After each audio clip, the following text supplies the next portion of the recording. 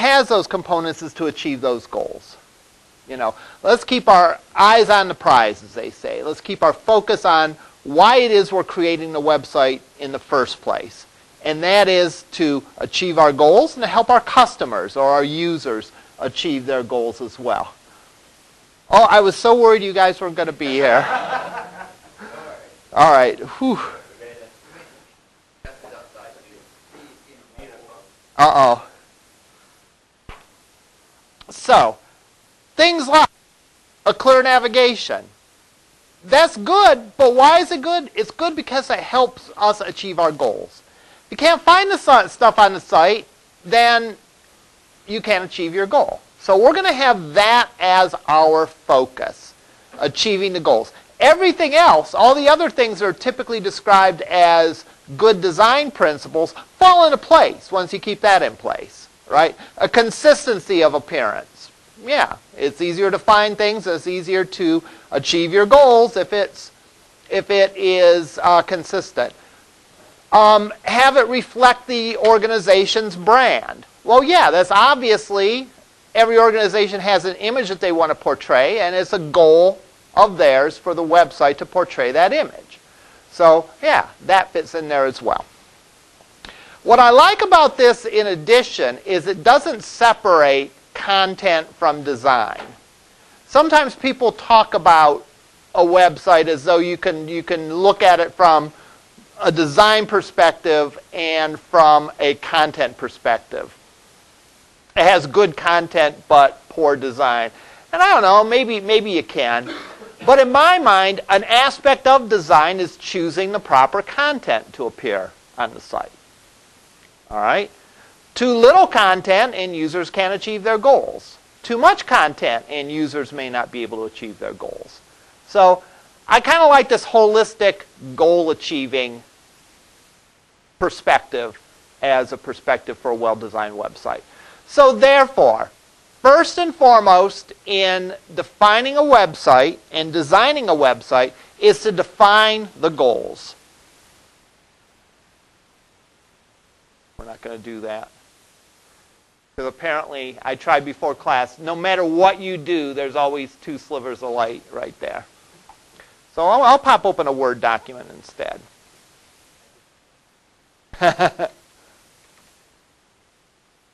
well, if this doesn't work, we'll go to that.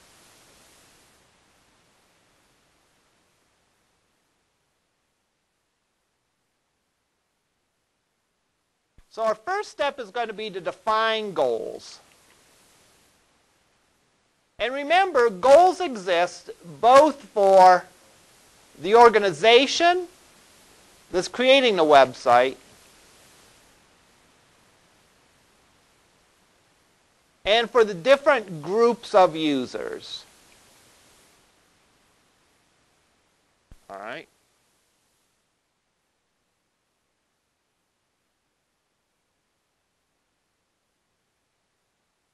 It's best to be as specific as possible, and it's best to be as content oriented as possible when you define this.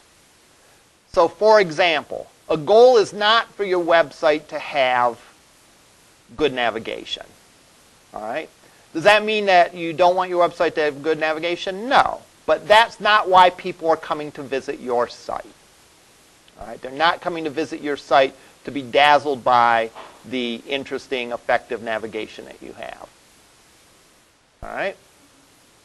They're coming to your site to get some information or to do something or whatever.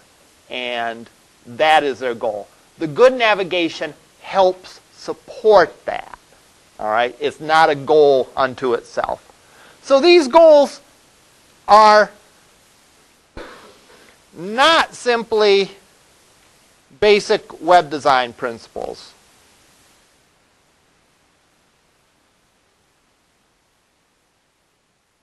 but are specific to your project.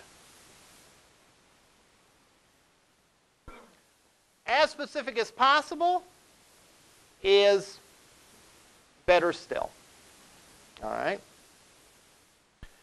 This helps you go and take a topic that could be broad and narrow it down to a much better focus. Right, much tighter focus. I had a student in one of my other classes talk about doing their project about Jeeps. And it's like, okay, that's, that's, a, that's a potentially good idea. But really, Jeeps, what about Jeeps? All right? The history of the Jeep, how it's used in military, um, how to go on outdoor adventures with Jeeps, how to repair a Jeep, a buying guide to Jeeps. All these are very different things and very different aspects of the general topic of Jeeps. So what you're doing is you're narrowing the topic in, that you're not going to talk about everything about this particular topic, but you're going to focus on one thing. All right? Notice also, as part of this, part of this project, is identifying the groups of users that you're going to be attracting or trying to attract. All right?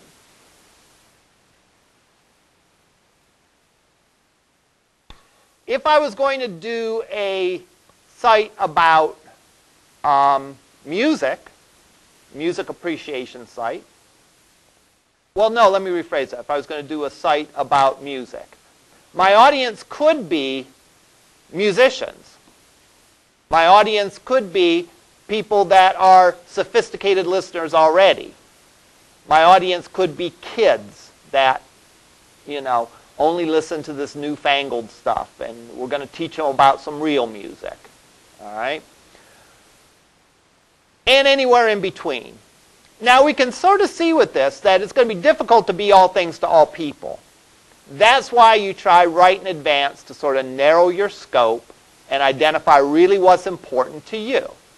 Now again, a lot of it has to do with why you're creating the site. You know, if, for example, I was a music shop and I was creating this site, obviously one of my goals is to have more people visit my shop and buy instruments and other stuff from me. So that would be one of my goals, and that would help push me in the direction of am I dealing with professional musicians or student musicians or whatever? All right. Pardon me? Hipsters, yeah, exactly. All right. So, when we go and define these goals, again, we're really narrowing the scope from a broad topic to a narrower topic, and we're defining our audience. Now, almost any site you can think of one, one flaw, one mistake that people make when they start talking about web design is they start talking about the user as though the user is one person out there that has one set of goals. Really, there's going to be any number of different target audiences for your website. Not all your users are the same, and not all of them have the same goals. We talked a little bit about this when we talked about the college website. There are what I'll call traditional college students, you know, st students that have just finished high school. There are adult learners. There are parents of students. There are businesses looking for ways of, of retraining and re-educating their employees, and so on down the line. There's members of the community that aren't necessarily interested in getting a degree, but have some special interests and might want to enrich themselves by taking a class, or even aren't interested in classes at all, but want to know about some of the activities that happen on campus, the film society, concert series, and so on. So all of these form a distinct group of users. All right? We're going to do that one better, and this sounds a little hokey, all right? But we're going to create fictional people, all right? We're going to just make up people. And we're going to give them a name, and we're going to make up a little story about them. And they're going to be representative of our different user groups. Why do we do this? We do this to sort of put a face on our user out there. So we're not thinking of the user as just being one person, one faceless person out there that, you know, represents everyone that could possibly visit our site. We're going to break down our user population into a few groups. Now, to be sure, is that accurate? No. In reality, all right, in reality, you know, there are what, 7, 8 billion people in the world. Each one has their own set of unique needs and interests and so on. All right? But you can't come up with a plan for all 8 billion of them. All right? So what you're going to do is you're going to define sort of two or three groups and look at what their specific goals are. So again, not as good as developing a website for an individual, but that's totally impractical. However, it's better than just looking at our users as just one group of people. So we're going to create these personas, and we're going to make up some characteristics, and that will help us define goals for different groups of people. All right. What I'm going to do now is I'm going to open up a design document that I prepared. All right, I created um, a sample design document a few years back, and it's not meant to be perfect. All right.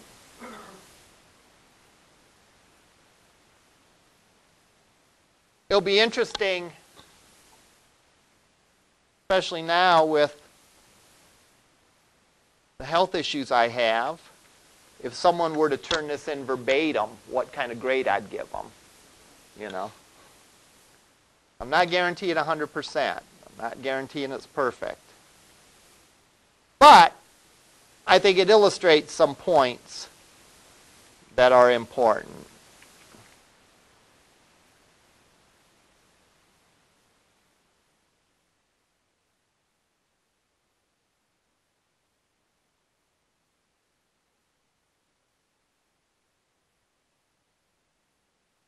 Here's a sample plan. And open that up. I'm also going to open up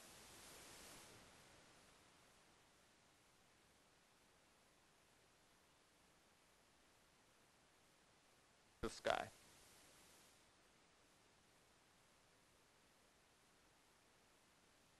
All right. The first section of your design document is the strategy section. And in the strategy section, you define the goals. All right? After strategy comes your tactics for achieving those goals. So you define your goals and you look at how you're going to achieve those goals. And again, both these things are things specific to your project. We're not talking about basic design principles. You're not achieving your goals by having good navigation. All right? In other words, someone visits LC's website and the goal is to see if they want to go here.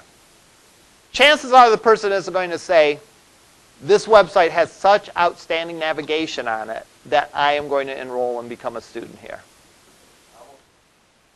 Almost did. yeah.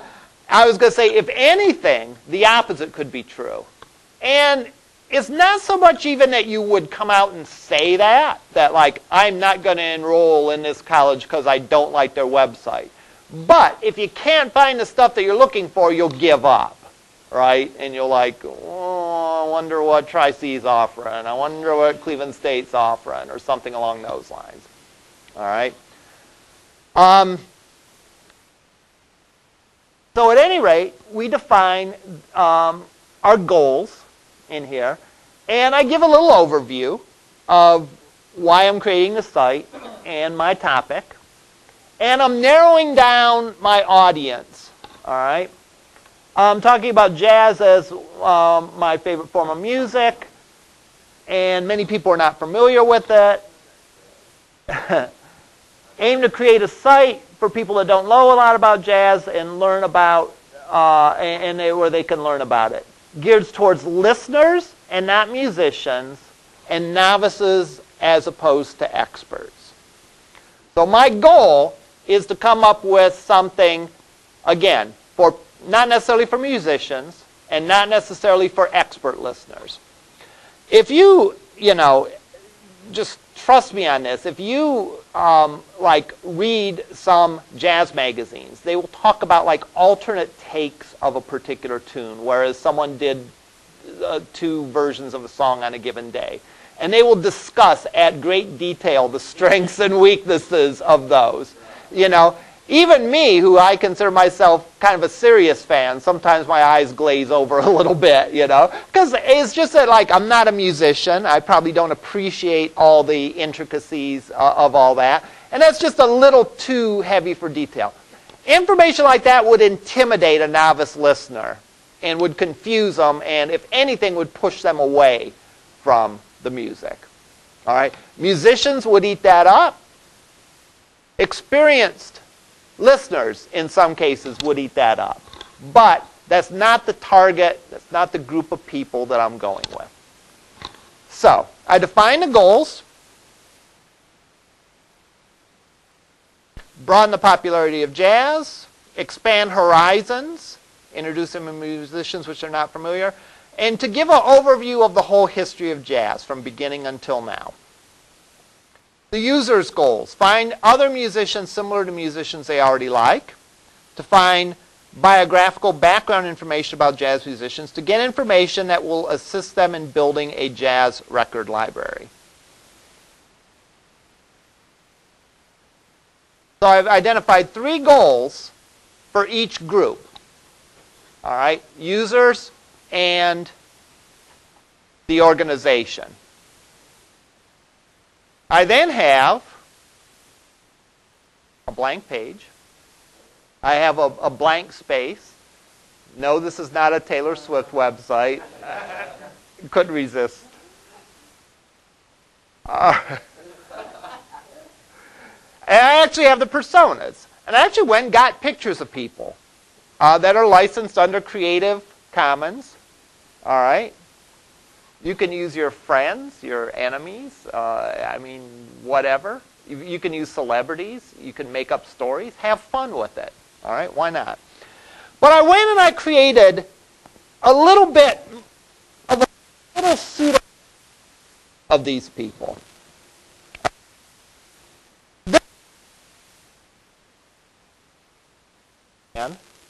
But he really kind of moved away from it. And now that he's getting older, he's, he's interested in rediscovering the music and learning about contemporary jazz. So this person might be sort of familiar with some of the musicians of the past, but really lost their way and isn't familiar with current musicians. This person, Mary Nelson, all right, taking a music appreciation class, all right, she knows almost nothing about jazz, but enjoys some of the music played in class. It's like, I like this, I want to hear more. All right? She needs some information about jazz for a report in her class and doesn't know where to begin. And so on. And then Bob Jones has had friends that listen to it and blah, blah, blah. Now, why do we do this? We do this as sort of an exercise to put ourselves in the shoes of the person viewing the site. All right? So, in other words, if we're looking at designing the way our site is going to look and the structure and the layout of the pages and all that, we don't ask, is that way of organizing our site is that good for the user? We ask, is it good for Bob? Is it good for Mary? Is it good for Frank? Well, I'm trying. I was trying to remember the names I picked.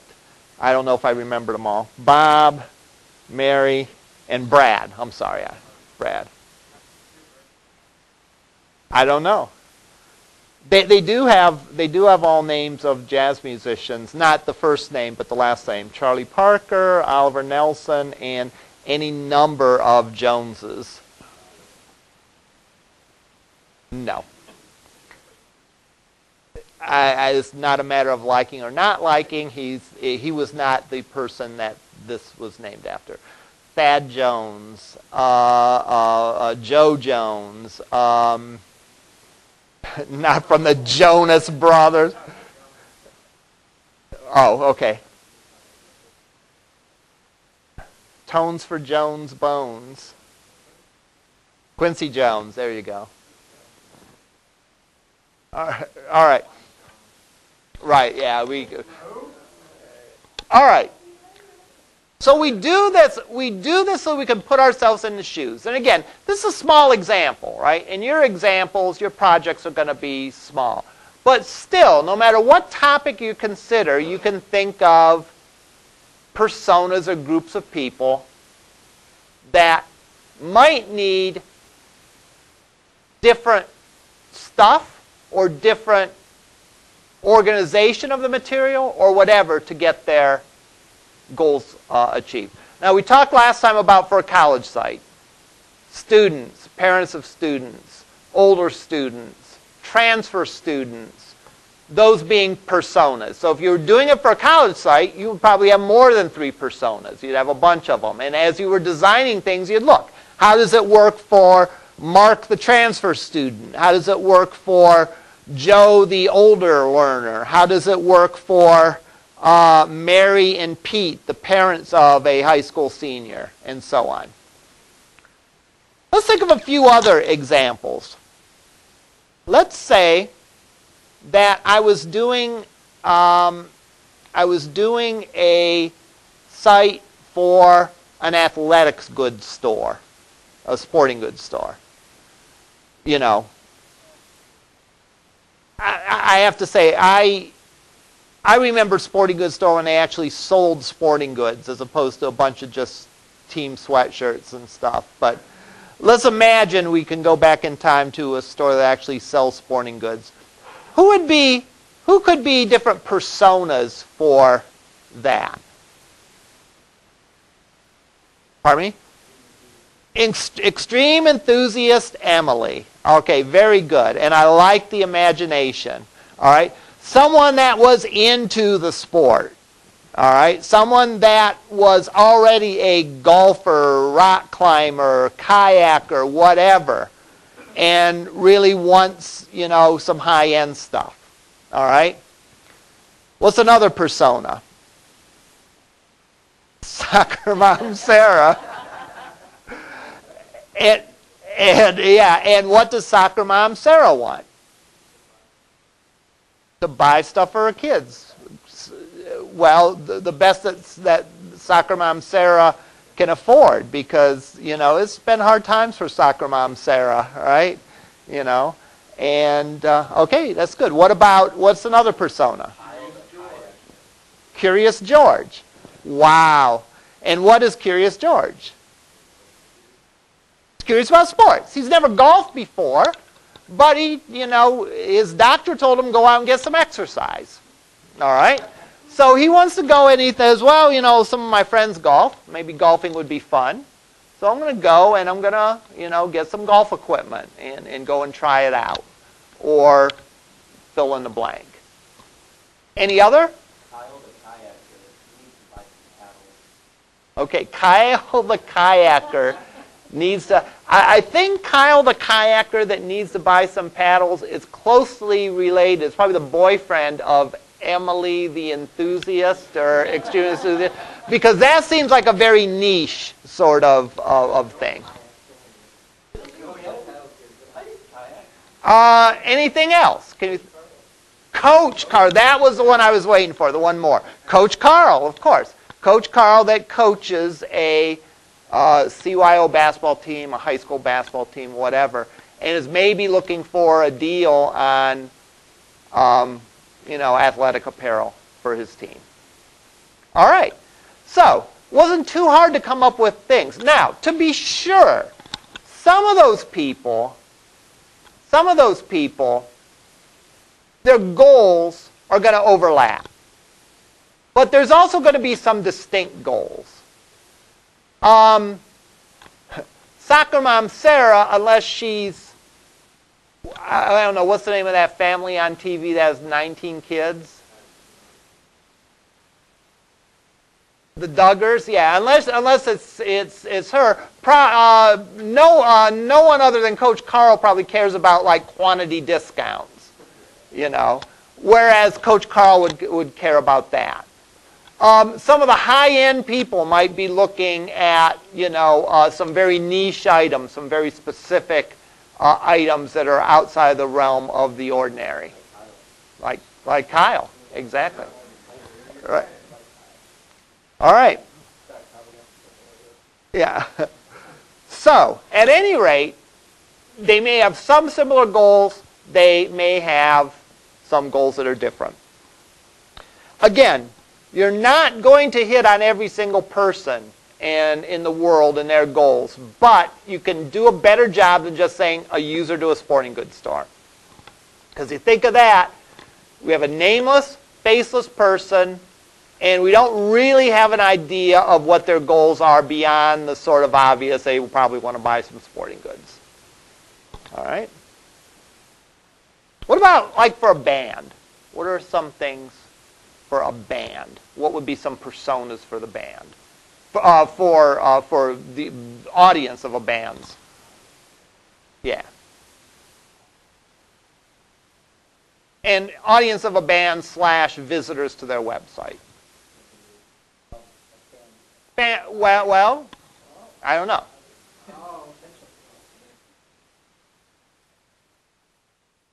I'm here. I'm hearing some. I'm hearing some. Okay, someone looking to hire a band. All right, would be would be one. Hiring Harry that runs Harry's Bar and Grill. All right, what would another one be?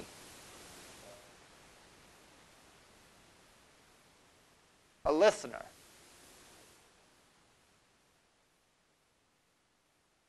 A music fan. I, I kind of like these, but I kind of want to get a little more specific on them. Well, again, we can kind of put those on the. Yeah.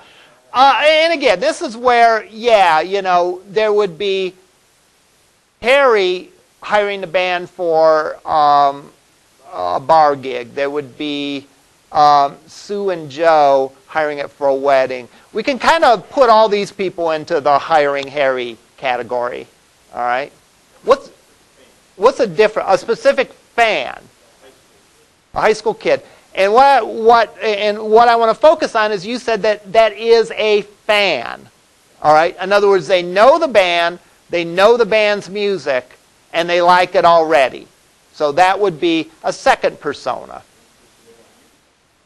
Yeah, so they want news updates. They want to know, depending on the kind of band, you know, they want to know what the band members' favorite colors are and what their breakfast cereal was and all that. I know a lot of jazz fans are interested in all that uh, with, uh, with uh, the musicians they like. All right? So there you have a case of, of again, someone is hiring a band. You know what? Their personal taste may come into play, but there might be other factors coming in, like how much the band's going to charge. Do I think my audience is going to like this band? You know, if I was hiring a uh, if I was hiring a band for uh, a wedding or for an event, I'm not necessarily going to pick my favorite musicians. I'm going to pick a band that I think is going to appeal to the people that are coming to that and play all the classic wedding songs and whatever. Uh, just hire a DJ, right? Oh, yeah. What would another persona be? Curious George again. Right. Yeah, someone, yeah, uh, again, and you'll see all, a lot of these will definitely have a lot of Curious Georges in them. You know, someone that is familiar with the topic versus someone that knows just a very little about it. So Curious George, their friend, they saw a sticker on their friend's car and they know that they like the same music and um, there's, you know, uh, th they saw a picture in the newspaper, the the, the lead singer has a great flaming skull tattoo with barbed wire wrapped around his head and all that. And I'm into that kind of music, so uh, I, I want to give them a listen. All right? So again, someone that would be curious, someone that maybe had heard about them and maybe recommended by a friend or heard like a song or something like that and wants to delve in some more. So it's not hard to do to come up with three personas. So I'm asking you to do that for this. Think of the three personas. All right? And that is the first section, the strategy section. Sort of an overview, a definition of the goals, and the personas. Let's look up.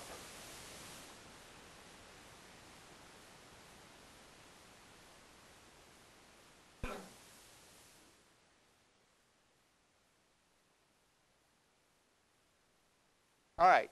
Here is a listing of that. We've talked about the first section right here. This never fails to confuse me that I scroll down to have it go sideways.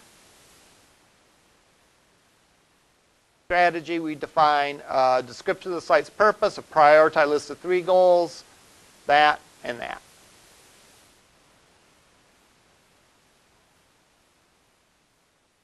All right.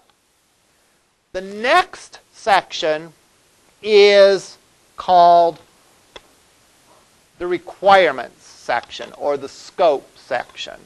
So the first section we talked about is the strategy. The second we talk about is the scope. In the scope section,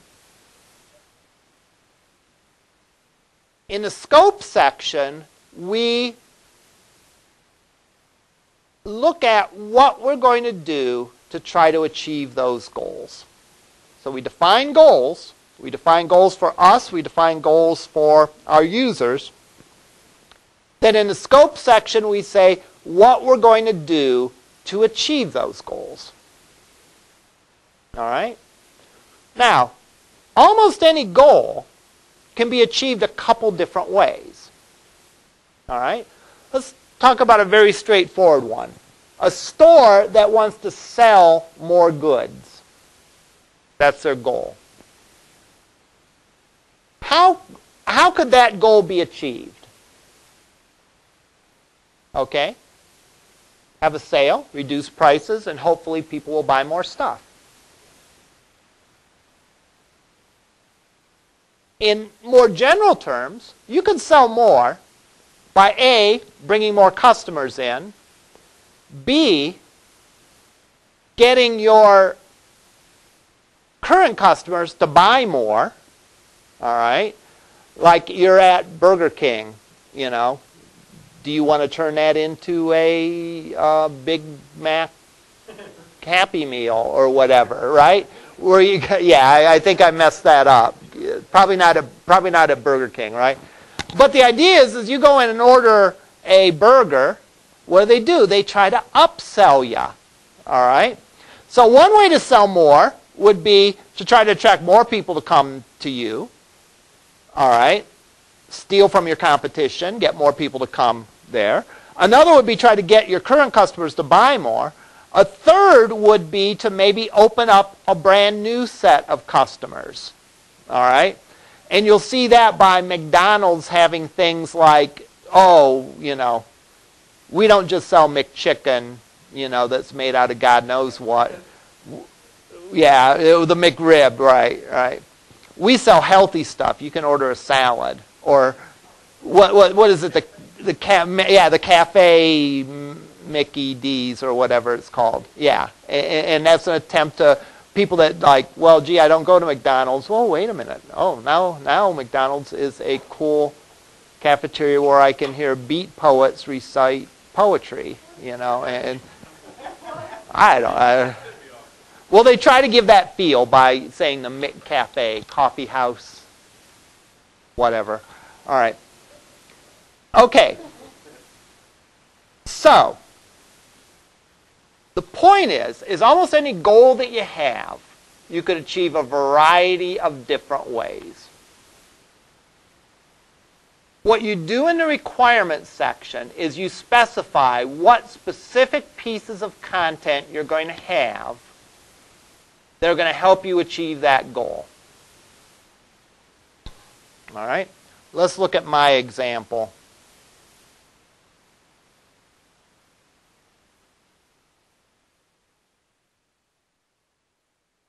All right, I'm saying I'm going to have biographies of contemporary musicians and jazz masters of the past.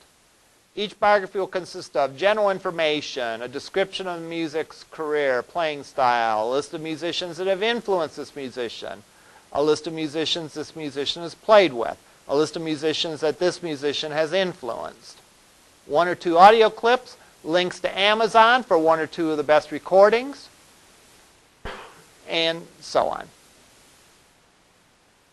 Pardon me? Affiliate links, exactly.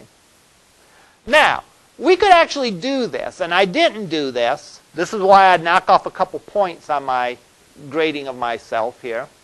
But we could actually go and match up the requirements to the goal. For example, links to Amazon for one or two best recordings. That relates specifically to the goal of get information that would help them assist in buying, uh, building a jazz library. So I could, that's, that's what I started to do here. I have a U3 there. I could actually go and put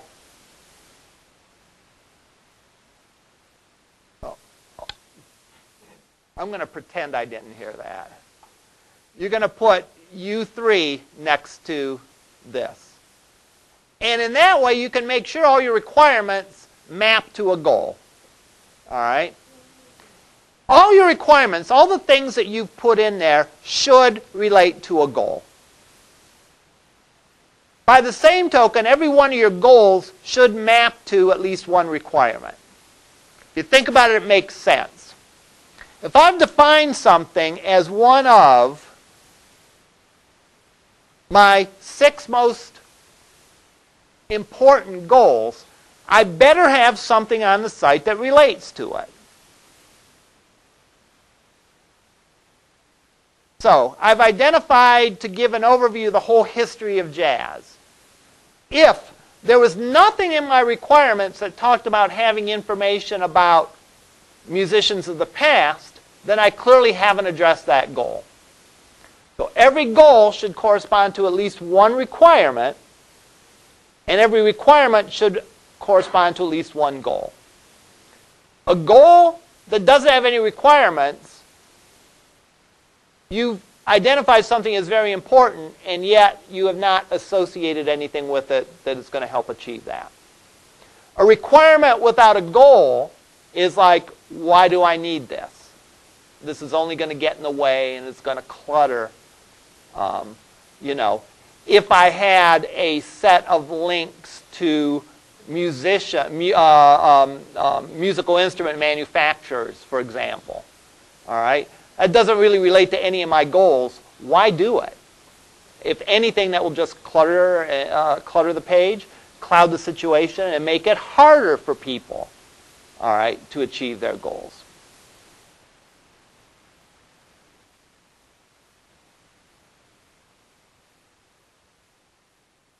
So I should be able to just side by side put the goals and requirements and put the requirement number next to the goal, put the goal number next to the requirement, and it's not necessarily a one-to-one, but every goal should have at least one requirement. Every requirement should correspond to at least one goal.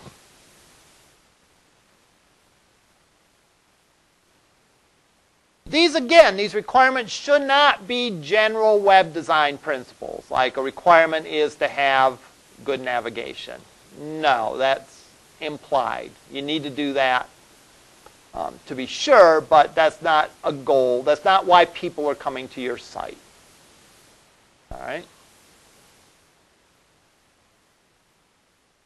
The next step is to come up with a structure of your site. When I define my requirements here,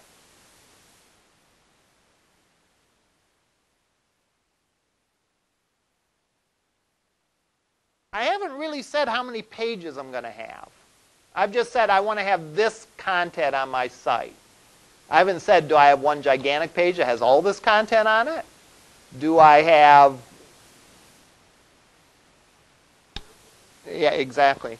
Uh, do I have a couple of pages? You know, are things organized, um, you know, by year, by style? What are they organized by? In the structure phase, you go and you break down how you're going to organize the content into pages. All right? Now, for simple websites like ours, you're probably going to have a simple hierarchy. Simple hierarchy is where you have a home page and you have pages underneath that. You might, in some cases, have pages underneath those. Yes, tier 1, tier 2, and so on. All right?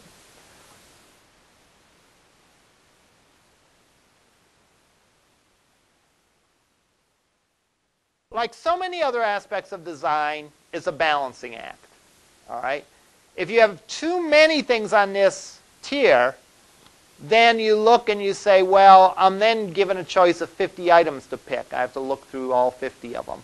If you have a couple items on here and have 15 tiers, then you have to click down 15 times to get to where you're, you're going to. So balancing between your design in terms of the width of your hierarchy versus the depth is something that's important. For most of your sites, it's going to be a simple hierarchy. There are other sort of um, um, layouts or, or, or structures for sites, like a sequential, where one page has to come after another. You don't really see that too much because that's sort of the antithesis of the web, right? I mean, the whole idea of the web is that you can navigate around. But there are some pages like FAFSA and whatever that it takes you through in a certain order. Yes?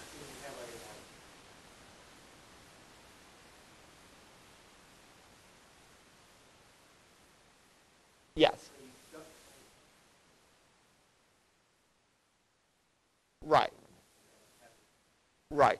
In other words, what you'd be doing is you'd be organizing these guys into categories. Yeah, you, you absolutely could do that. For most of your projects, you're going to have a simple hierarchy. And again, you're going to have, I forget what the requirements say. It's in one of the documents, you know, five to nine pages, something like that, seven to nine, something like that. Now, the one thing that, besides that, is your site needs to have what's called an organizing principle. All right? It's sort of the basic way that the information on the site is structured. So if I look at my case,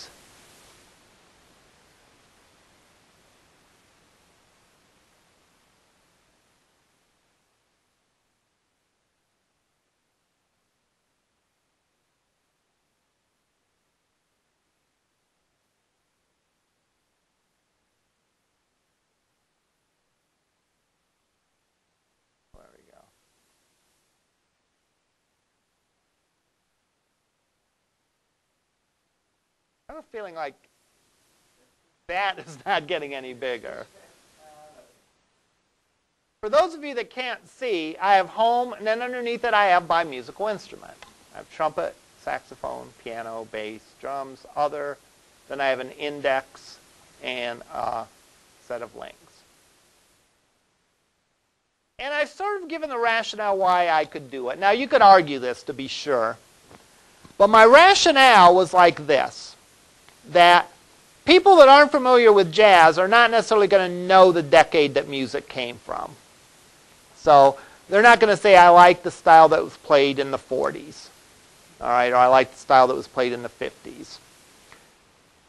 If I were to do it by the kind of, the style of jazz, all right, again, people that are not familiar with jazz music might not really know to call this like West Coast jazz or um, this, you know, uh, uh, New Orleans style or whatever. If I did it by time frame, what do you do with a musician that started in the 40s and is still playing till till now? You know, it's confusing. You know, does does you know Sonny Rollins, a great jazz musician, does he belong in say the 40s and 50s when he started playing? Does he belong in the current day because he's still alive and making great music? Or does he fit into the decades where he played his best music? And in which case, you know, right. Yeah, that gets to be a little much for the novice. So, you know what? Above anything else, a novice should be able to um, identify, gee, I like the way the piano sounds. I like the way saxophone sound. I like the way trumpet sound. I like a band with a good drummer and so on. So as far as my organizing principle, I chose that specifically going back to looking at my personas and thinking what would work for them. All right? Does Mary know what kind of jazz was played in the 30s? No, Mary doesn't know. So if I did things chronologically, probably wouldn't do her any good. All right?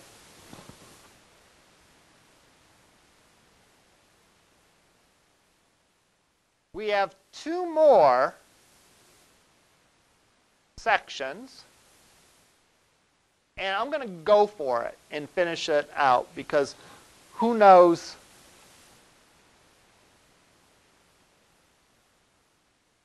what the future holds.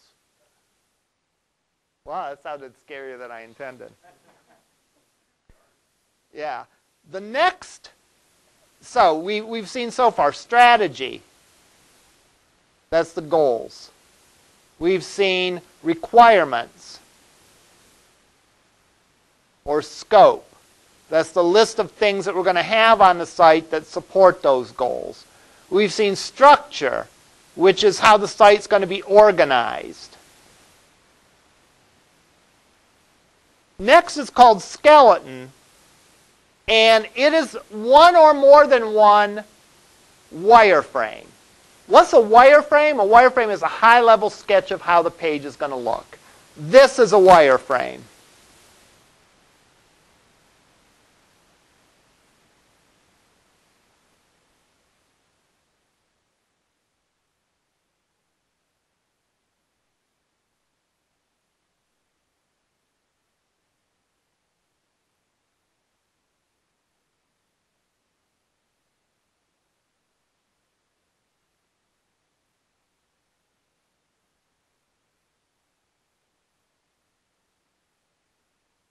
All right? That's a wireframe. Doesn't go into details about what's going to be in there, but it points out the major sections of the page. How many wireframes do you think you might have for a small site like this? Maybe one? Maybe two? More than two, you might want to think about it. You might be creating more work for yourself. All right? The whole idea is, is we have sites these sites are simple enough and have few enough pages in them that you want it to have a consistent look, but there might be a page or two that are a little unusual. Your home page you might have a different layout for. All right? Or you might have a gallery page that has a different look to it. But in general, for a small section of pages, one of these could very well be enough, or maybe two of them. Remember when we looked at LC's site the last time, we actually found that there were pretty much three layouts. There was a homepage layout, there was a section layout for like current students, potential students, and so on, and then finally there was a content page layout. So you'll come up with at least one of these, possibly two. If you're doing more than two, you might want to think about it. All right? Lastly is the prototype. And the prototype is sort of like a rough draft of some of the pages. And you need to turn that in when you turn in the design. So you'll create some of the pages, some of the CSS. Doesn't have to be perfect, just like a rough draft in English class doesn't have to be perfect. But it should show what direction you're going. All right? You can have all, all the documentation that comes previous to that is very important. But for most people that you're dealing with, they want to look at the prototype because they want to see what they have. And, and by seeing it, it sort of jumps out at them. All right? Why do you create this documentation? You do it to plan, to figure out what you're going to do, and you also do it to share with other people. And the prototype by actually showing them how the pages are going to look and how they navigate, doesn't have to be perfect, doesn't have to be finalized, um, is a good way to indicate that. So the prototype section, which I did not do in my example, which we'll pick up on next time, creating a prototype, um, is, again, critical because that's how people are going to look at it. And, and how complete should the prototype be? Well, it's hard to say, right? You want to give the user a good idea of what it's going to look like, but you don't necessarily want to do the entire site and have the user say, hey, I want to change it completely around. So you do enough of it so that they can make a judgment, um, but not so much that you um, are doing too much work if they tell you to throw away the whole thing and start from scratch. All right. Next time, the focus of the lecture will be turning your wireframe into a prototype. And that's where we'll pick up on next time. Any questions? North Ridgeville, okay?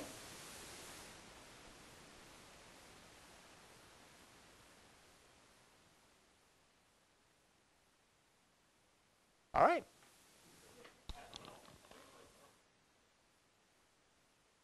Did you have a question in North Ridgeville? No? Okay.